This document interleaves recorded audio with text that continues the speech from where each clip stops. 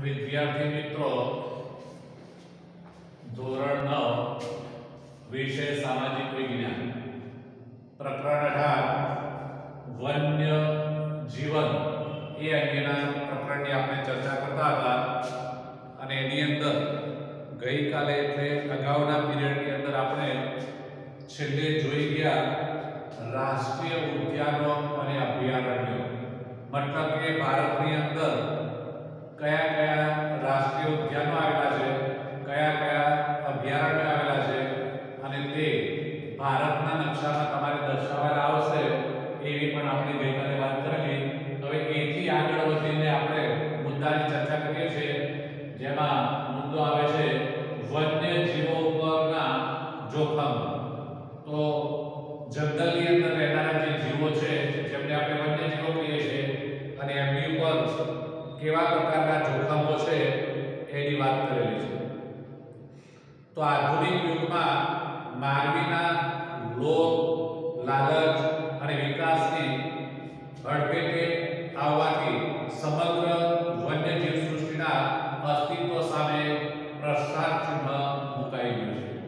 તો અહીંયા આપણે કહી શકીએ કે માનવીની જે લોભ છે, એની અંદર જે લાલચ છે, વિકાસ કરવાની જે એની અંદર હોડ છે, હરીફાઈ છે, એને કારણે એની જીવ સૃષ્ટિને મતલબ કે જંગલોને સાફ કરી નાખ્યા છે.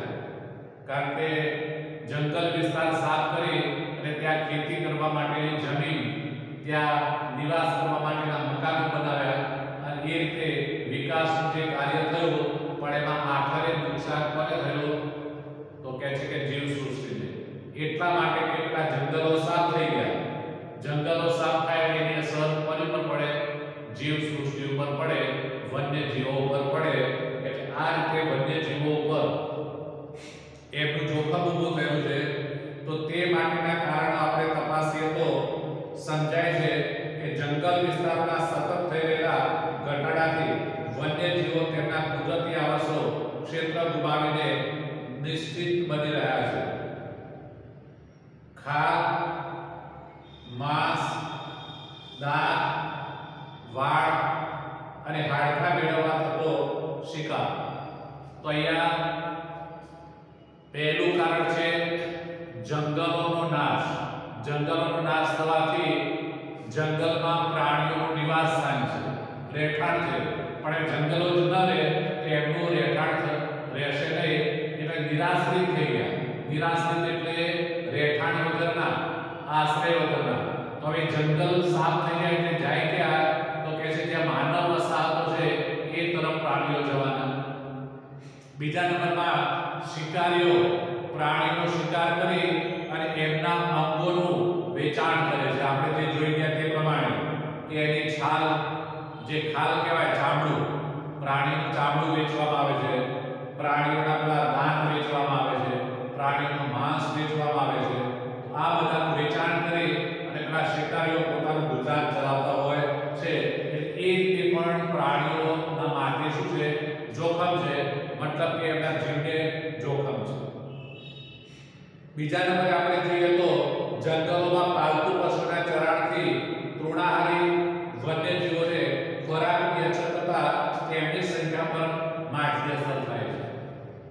તૃણાહારી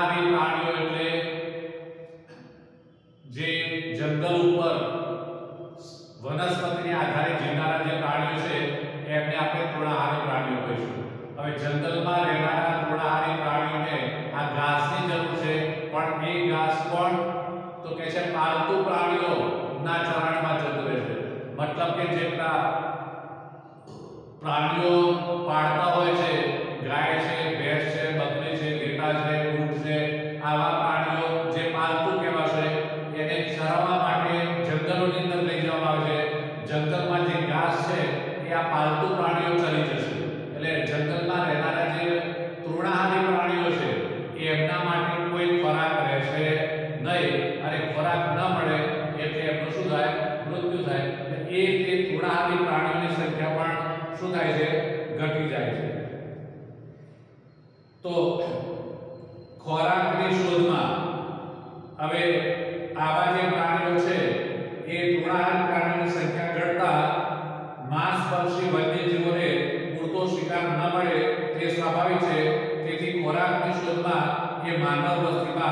આવી ચડતા તે પશુનું મારણ કરે છે.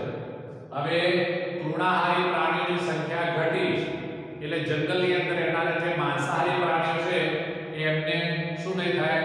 ખોરાક મળશે નહીં. કારણ કે જે હિંસક પ્રાણીઓ છે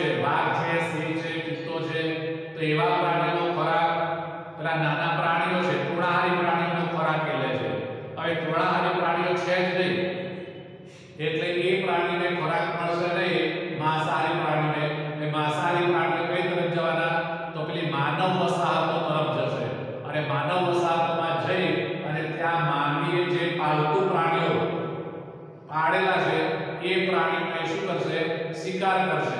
એટલે એ પ્રાણીઓને મારવા જશે એટલે માનવી સાથેની અથડામણ થશે. એટલે એ રીતે એ હિંસક જે પ્રાણીઓ છે, માંસાહારી જે પ્રાણીઓ છે, એમના માથે પણ શું આવે છે? જોખમ. તો આ કહે છે કે એ વન્યજીવોના માનવી સાથે સંઘર્ષના સંજોગો ઊભા થાય છે અને તે સંઘર્ષો વન્યજીવોને મોતના મુખમાં લઈ જાય છે. વળી અન્ય જીવોના આવાસોમાં પહોંચતી પ્રદૂષણની અસરો ઘણી ઘાતક હોય છે. આ ઉપરાંત વન્ય ક્ષેત્રમાં થતી માનવ પ્રવૃત્તિથી વન્યજીવો પર માઠી અસર પડે છે. તો હવે માનવી જ્યારે એટલે એને કારણે કહે છે કે આ પ્રદૂષણ ફેલાય છે. જંગલોની અંદર પણ પ્રદૂષણ ફેલાય છે, જે ઘાતક નીવડે છે. મતલબ કે પ્રાણીઓ માટે નુકસાનકારક છે. અને એ રીતે એ માનવીય પ્રવૃત્તિની અસર એ જંગલી પ્રાણીઓ કે જંગલમાં રહેનારા પ્રાણીઓ પર થતી હોય છે.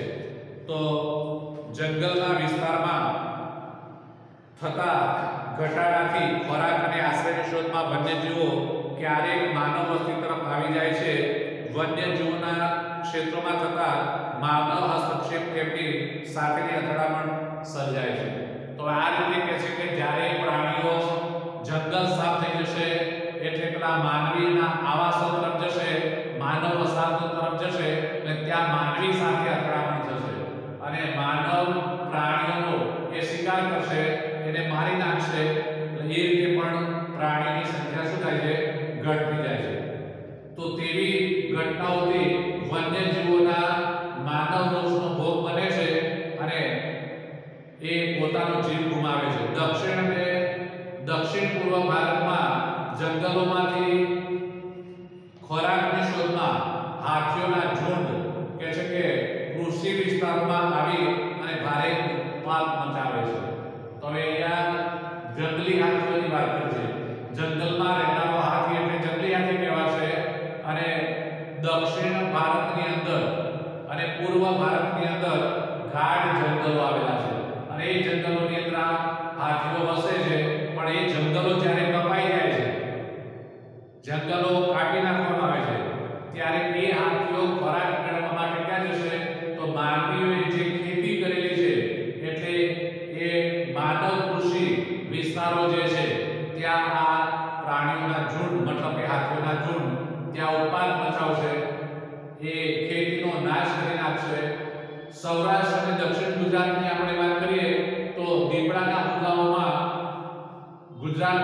ઉત્તર પૂર્વના વન વિસ્તારો નજીક કે વનમાં રીંછ દ્વારા માનવ પર ઈજા પહોંચાડવાની કે માનવીને મારી નાખવાની ઘટનાઓ પણ બનેલી છે.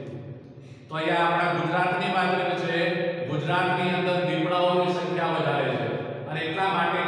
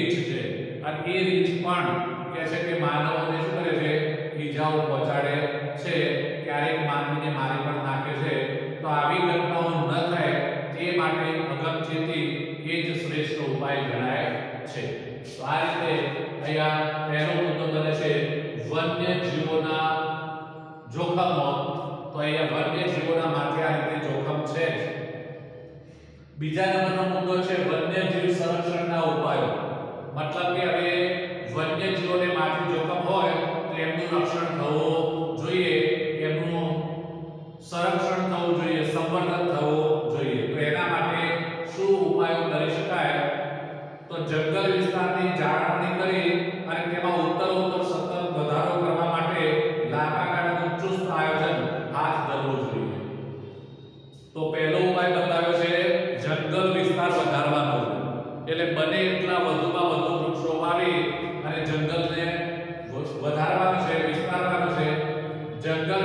ભગવાનને વંદે જુઓ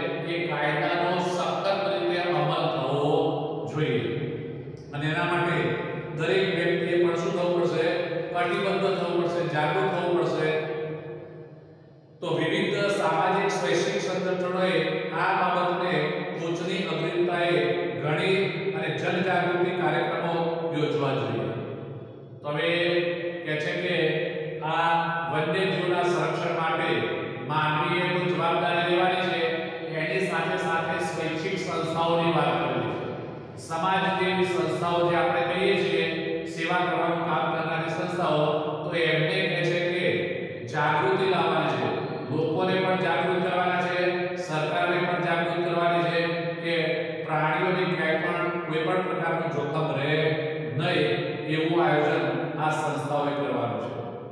શાળાઓ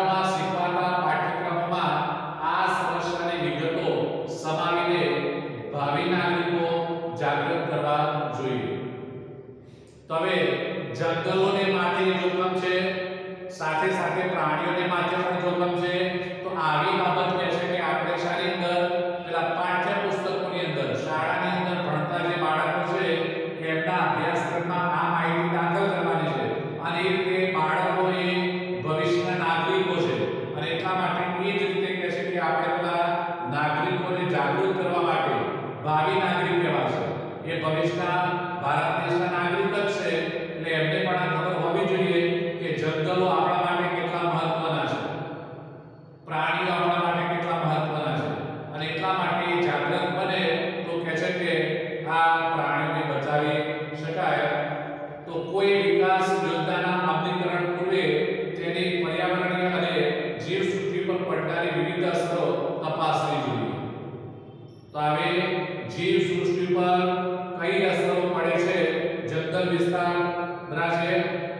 class.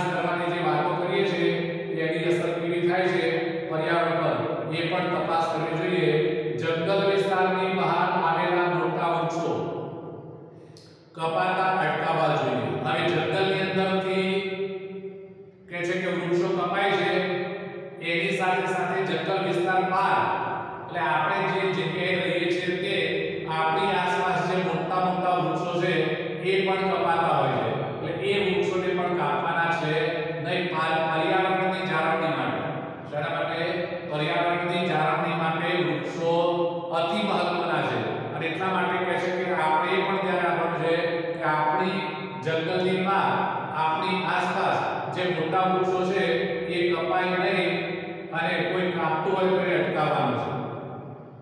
તો તેના મૂળાણો અને ડાળીઓ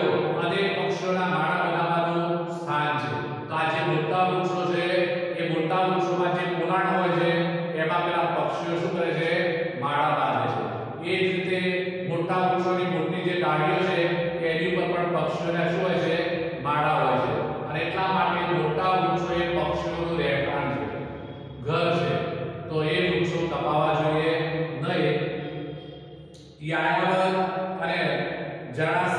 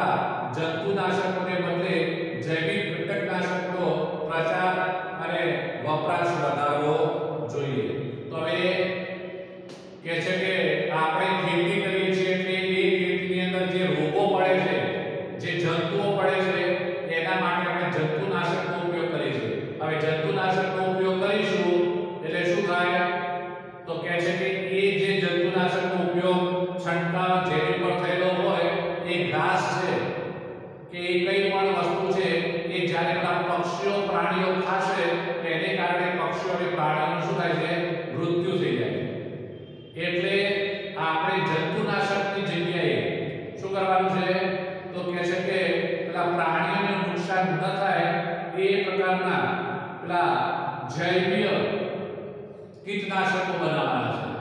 અને જૈવિક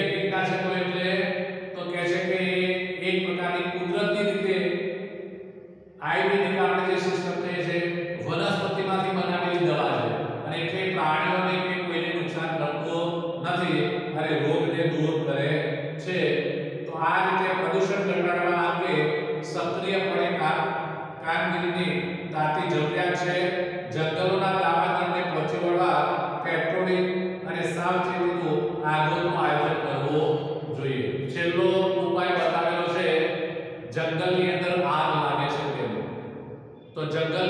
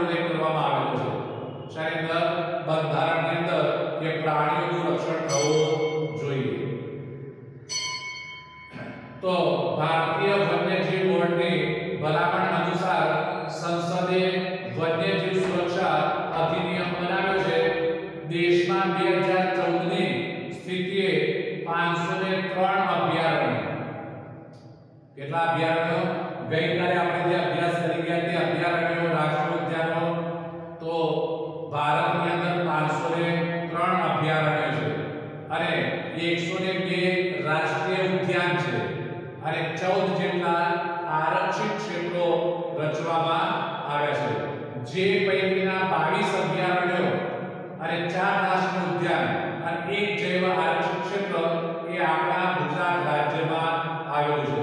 તો જેના અસ્તિત્વ માટે જોખમ અને વિનાશને આરે હોય એવી વિશિષ્ટ પ્રાણી જાતિઓ માટે ખાસ સંરક્ષણની યોજનાઓ બનાવી છે. જેમાંથી કેટલીક જીવ સંરક્ષણ પરિયોજનાની વિગતની આપણે વાતો યાદ કરવાની છે. પણ આપણે યાદ અટકીએ છીએ. હવે એ જે પરિયોજનાઓ છે, એ કઈ કઈ પરિયોજનાઓ કઈ સાલમાં સરકારે અમલમાં મૂકી એની ચર્ચા next year.